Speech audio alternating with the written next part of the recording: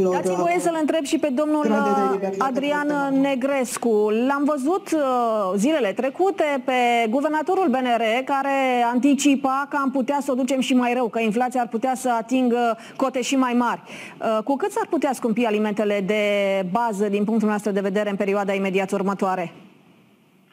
Păi la ce secetă avem, e probabil ca produsele alimentare să se scumpească cu 10-15% cel puțin în această toamnă, pentru că, într-adevăr, uh, problemele sunt majore și să nu uităm că noi importăm inflație, adică cam 70% din ce punem pe masă în fiecare zi. uh, vine din hipermarketuri și din supermarketuri de unde um, cele mai multe produse sunt importate și importăm practic inflație de acolo. Uh, noi nu avem acum o scădere a inflației, nu putem spune o scădere a inflației pentru că 0,1% înseamnă aproape nimic, e de eroare vedem hipotivă creșteri de prețuri foarte, foarte mari, mai ales la alimentele de bază și la zona de energie. Și astea sunt, um, sunt resorturile care generează și mai multe probleme în economie și ca pe o, cum să spun, ca pe un um, scară dintre acestea, ca într-un carusel, toate aceste probleme se amplifică de la o lună la alta se vede deja o scădere a consumului, iar uh, situația inflației asta ne arată, practic, că s-a ajuns la un nivel de suportabilitate mm, extremă, la care puterea de cumpărare, practic, nu mai face față. Motiv pentru care și consumul a scăzut în România. Și mai avem o veste proastă. Gaura de 12 miliarde de lei la bugetul de pensii a ajuns și în atenția ministrului muncii. Este un deficit despre care a vorbit la un post de televiziune Marius Budăi. Este, atenție, exact suma pe care statul o cheltuie pentru pensiile speciale. Estimarea de deficit uh, la bugetul de pensii pe anul acesta este 12 miliarde, exact cât virăm noi către pilonul 2. Noi nu suntem afectați în pilonul 1 de virarea contribuțiilor către pilonul 2. Deci pensia noastră nu se calculează, nu este diminuată de transferul contribuțiilor către pilonul 2. E o, o necesitate. Pensiile încă sunt foarte mici în România. De aia nu înțeleg de ce cineva ne-a condamnat la sărăcie pentru 50 de ani. Demarăm acum spre final de an o discuție în Comitetul Național, în Consiliul Național Tripartit cu partenerii sociali, sindicate și patronate pentru a identifica o soluție astfel încât de la 1 ianuarie să avem o majorare a salariului minim.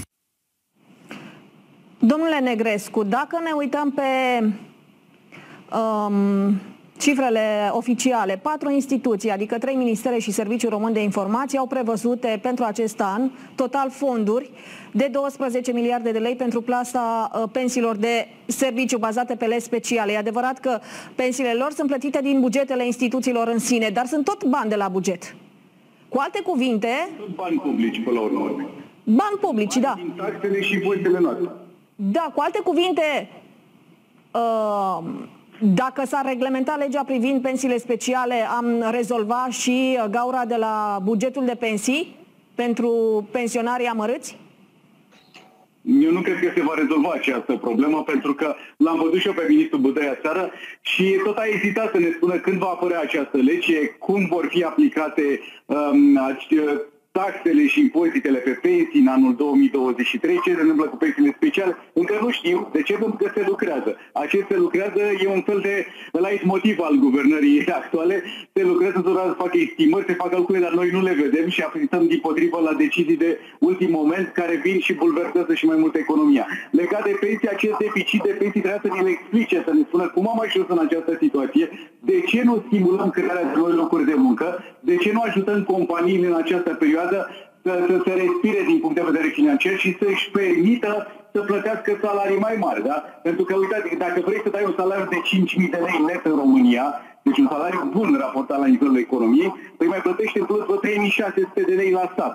E, în momentul în care statul va mai reduce din taxele pe muncă, s-ar putea ca și încasările la buget să crească, pentru că firmele vor crește salariile. Până atunci, trăim cu, cu această situație. Nu avem bani pentru pensii, ne împrumutăm pentru pensii și căutăm să ne lamentăm în, în tot felul de, de artificii de ordin financiar, tot felul de raportări la acel pilon 2 pe care, uh, credeți-mă, dacă autoritățile vor să-l distrugă, vor să-l elimine, ar fi cea mai mare greșeală pentru această generație din care facem cu toții parte.